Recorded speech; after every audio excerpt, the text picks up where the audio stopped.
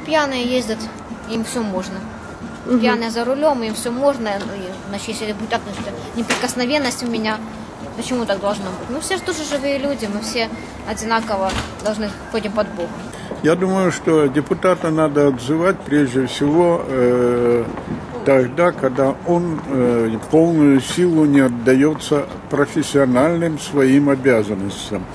Как, как депутат он должен присутствовать и работать в комиссии, в комитете, он должен присутствовать на всех заседаниях, он должен находить время встречаться со своими избирателями.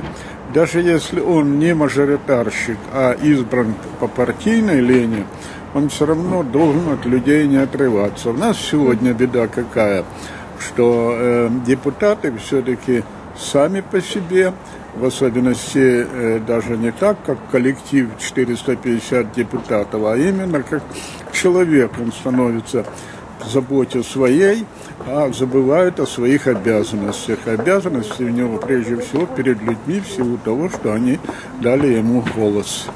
щоб вони були чесні. А за прогулки то взагалі їх ви- вигнати з Верховної Ради. Чтобы в Радах это сама. Мы же работаем, пускай они тоже, хоть иногда приходят в Раду и голосуют.